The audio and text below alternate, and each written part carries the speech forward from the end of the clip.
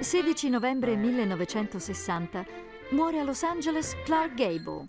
A stroncarlo è un infarto, due giorni dopo la fine delle riprese degli Spostati, l'ultima pellicola che lo vede protagonista al fianco di Marilyn Monroe e Montgomery Clift. Nato nel 1901, raggiunge il successo a 30 anni con L'Angelo Bianco. Baffetti da affascinante mascalzone, nel 1939 è Rhett Butler in Via col vento.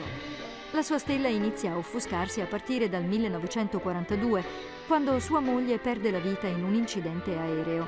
Da allora suo compagno di vita sarà l'alcol, che finirà per portarlo alla morte.